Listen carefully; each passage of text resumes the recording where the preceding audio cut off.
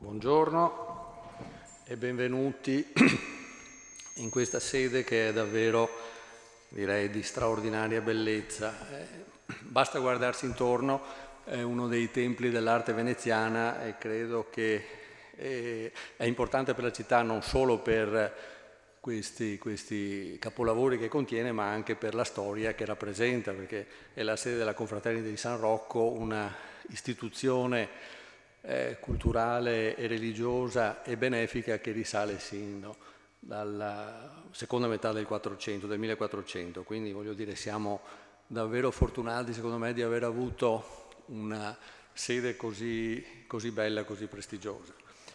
E, ehm, allora, eh, oggi ci troviamo qui per parlare del, eh, del cambiamento climatico e soprattutto del, del documento che è stato predisposto dal, che è stato adottato dall'Ordine e dal Consiglio degli Ingegneri di Venezia. Abbiamo qui il Presidente dell'Ordine, Mariano Carraro, eh, che ci, ci, saluta e ci introduce, per cui gli, gli cedo immediatamente la parola. Come, come preferisci.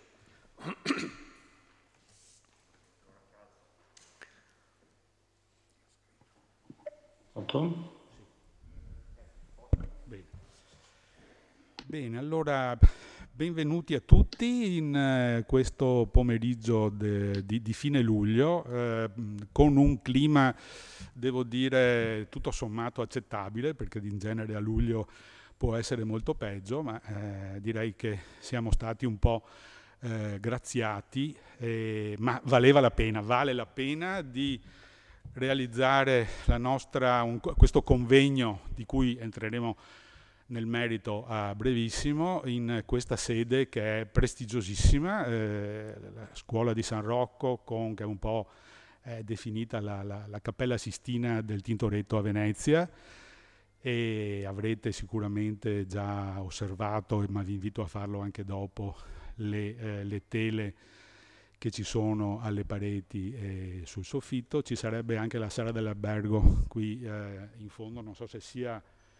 non so se è aperta, è aperta, ecco, eh, c'è una, una tela eh, del, del, crocifisso che è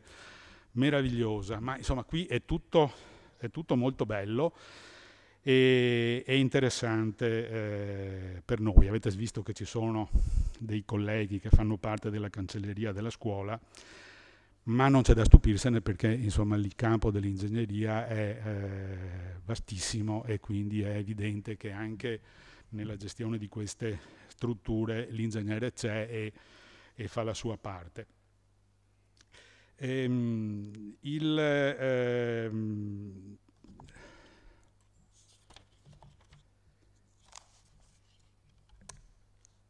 siamo venuti qua anche perché eh, qui siamo ormai in un periodo che eh, tutti sperano essere post-Covid, non so se sia proprio così, ma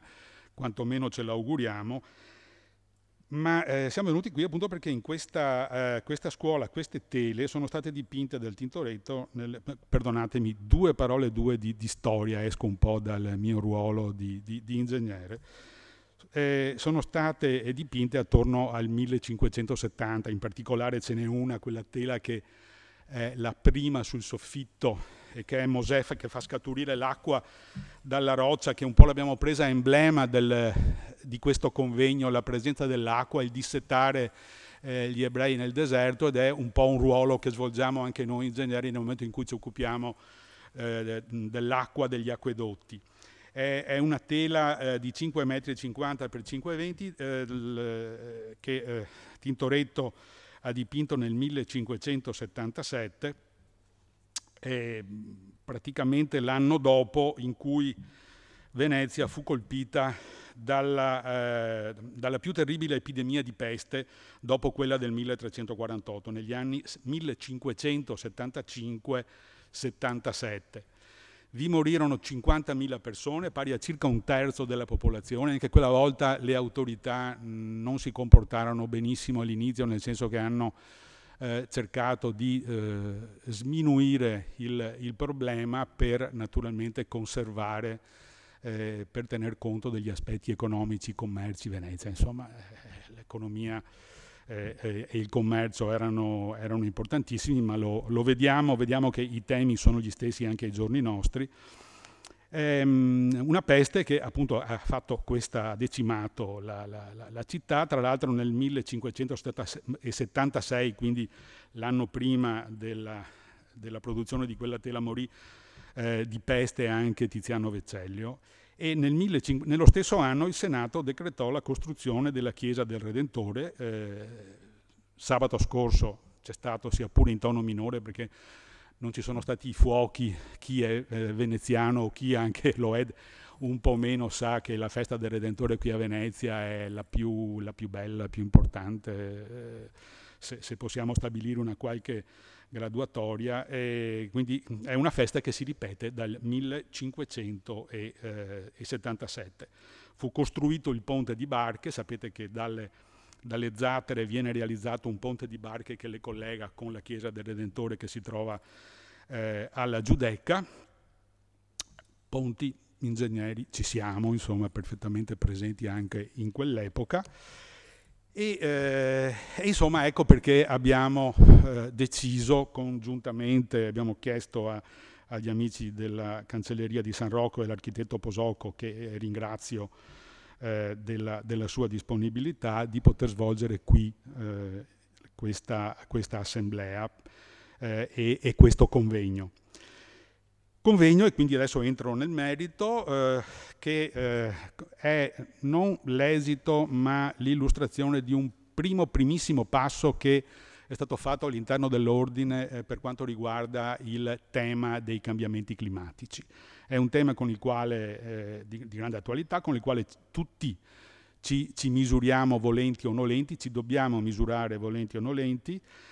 a Venezia siamo in prima fila, non c'è dubbio, perché insomma, il tema delle acque alte è strettamente connesso con i cambiamenti climatici. Eh, abbiamo costituito, oltre alla commissione sui cambiamenti climatici, anche una commissione sulle, sulle acque alte e sul Mose, appunto per, eh, perché sono temi che ci riguardano direttamente, quindi mh, ci è parso giusto eh, come Consiglio dell'Ordine di Venezia di eh, interessarci di, e di addentrarci in questi temi eh, al di fuori delle chiacchiere da bar, perché poi spesso ehm, ci sono molti che parlano e, e, invece bisogna sapere di che cosa si sta parlando e per sapere di cosa si sta parlando bisogna conoscere, addentrarsi in questi temi appunto eh, tecnicamente, noi questo siamo, siamo abituati a fare.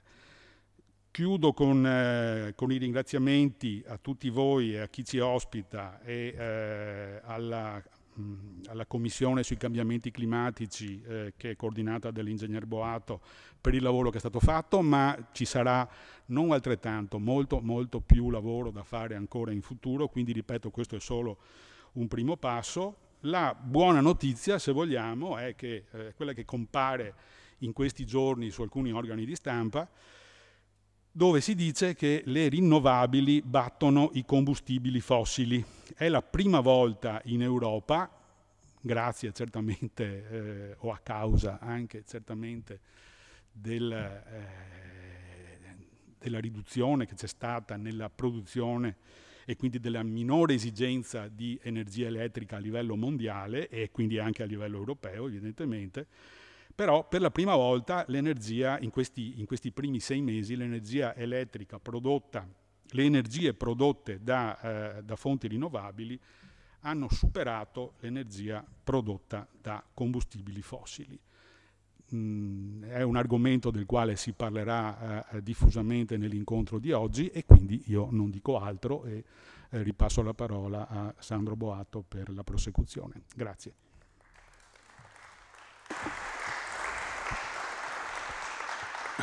Sì, grazie Ingegnere Carraro. Allora, entriamo nel, nel vivo del, dell'incontro di oggi che è appunto finalizzato a illustrare il, questo documento che è stato adottato da Ordine e Consiglio degli Ingegneri. Eh, il tema dei cambiamenti climatici direi che è abbastanza, abbastanza conosciuto, eh, se ne parla abbastanza, diciamo che ha avuto un momento di grande eh, attualità con eh, il, il, movimento di Greta Thunberg che ha davvero attirato l'attenzione di molta parte della popolazione su questo tema. E attenzione che però è purtroppo calata in, questa, in quest'anno a causa dell'emergenza coronavirus, per cui anche il, insomma, la stampa i media hanno dedicato meno, meno attenzione a questo, a questo, a questo, a questo tema. E, ehm, il, sì, eh, scusate, non ho portato i saluti di eh, Maurizio Pozzato, il presidente del collegio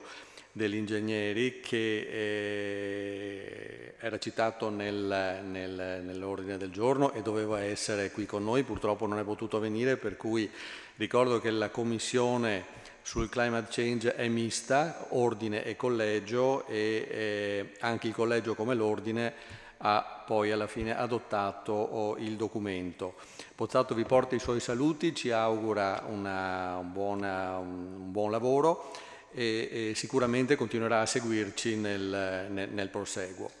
Allora, dicevo del, del, tema del cambiamento climatico, eh, se ne parla, però io ho l'impressione che se ne parli come di qualche cosa che ci riguarda, ma che potrà essere affrontato con calma, insomma, con, eh, diciamo così, con eh, magari domani o dopodomani e invece purtroppo, come vedremo negli interventi che seguiranno, è un problema urgente che va affrontato, eh, diciamo, subito se non vogliamo che eh, ci siano delle, eh, delle, delle conseguenze molto molto pesanti per la vita di tutti noi. Eh, allora, il, il, convegno è strutturato in quattro, in quattro interventi. Eh, aprirà l'ingegner Marino Mazzon con l'illustrazione del, del, del, del, documento, a seguire poi tre interventi di tre docenti universitari specifici su alcuni temi. Il mm, primo è il discorso economico, che eh, l'economia, cioè l'impostazione economica che stiamo vivendo, alla quale siamo abituati, dovrà delle, eh, delle, delle, dovrà adeguarsi al,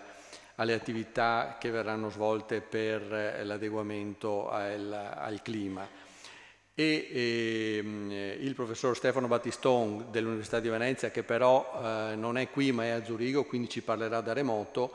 ci illustrerà, eh, ci illustrerà come. A seguire una, un argomento che riguarda più da vicino il nostro territorio, ce ne parlerà il professor Marco Marani, che invece è qui presente, e riguarda la gestione del sistema delle acque, nel senso che uno dei, come sappiamo, uno dei, dei, problemi più importanti e delle conseguenze più importanti dei cambiamenti climatici e dell'aumento delle temperature è la gestione delle acque, sia l'innalzamento dei mari, ma anche la, gli, eh, i fenomeni cosiddetti estremi e quindi la difesa del suolo e quindi tutte queste attività che dobbiamo prepararci ad affrontare in modo in, in, modo serio e qui gli ingegneri devo dire che possono benissimo fare la loro parte perché sono i più titolati. E eh, infine si parlerà del tema dell'energia, la transizione energetica, lo citava prima eh, Mariano Carraro, che già, eh, abbiamo, già molti passi sono stati fatti, nel senso che non sono più solo le fonti fossili, combustibili fossili a produrre l'energia, ma ci sono anche fonti rinnovabili, però eh, bisogna fare ancora molto, nel senso che eh, secondo quello che, che dice l'IPCC nel 2050 tutte le fonti di CO2 dovrebbero essere eliminate. Per fare questo bisogna che tutte le fonti fossili vengano eliminate e quindi c'è ancora molto da fare per la trasformazione e la transizione energetica. Di questo ci parlerà il professor Fabio Vignucolo dell'Università eh, di Padova.